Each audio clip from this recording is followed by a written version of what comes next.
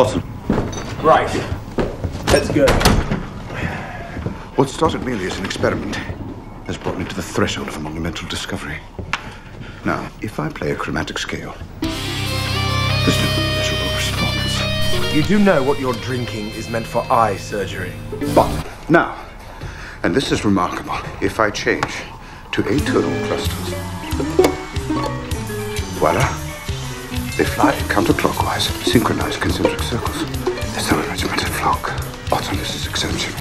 I, using musical theory, have created order out of chaos. How did you them in? Excellent question. Individually, I've been at it for six hours. And what happens if I do this? Clean yourself up.